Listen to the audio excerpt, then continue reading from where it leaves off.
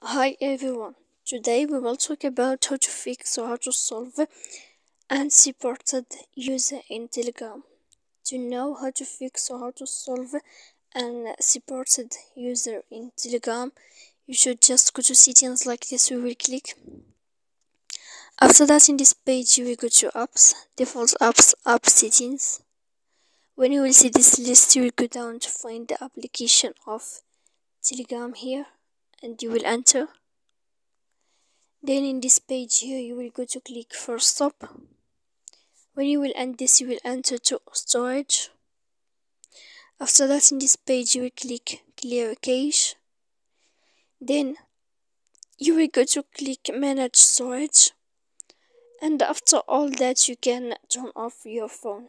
So please don't forget to support us by like and subscribe see you next time in another video